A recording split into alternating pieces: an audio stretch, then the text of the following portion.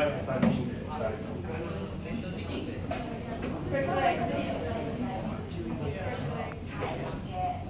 じゃあよくよく捕まえて。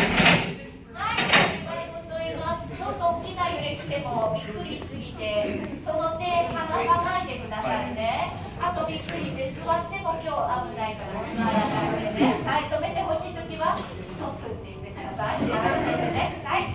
こけない方法いきます。肩の中に足をちょっと引っ掛けて、肩の肩の大丈夫だ。はい、足ちょっと力入れて。そうそうそう、足力入れて。はい、いきます。20秒。えーと。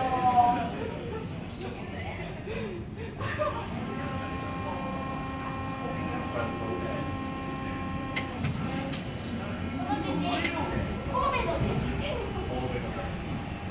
離さない兵庫県南部地震平成7年発生マグニチュード7.3震度7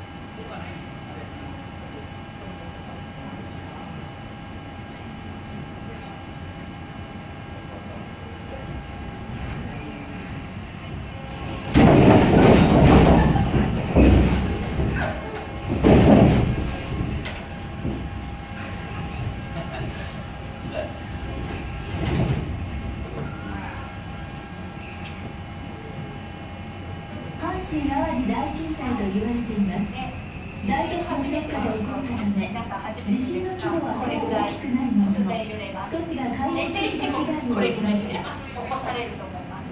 覚えててください。はい。えー、次、65秒長い地震します。もう嫌だから降りますという人いますか？降りたい人。OK、チャレンジはい。はい。頑張りましょう。おいでです。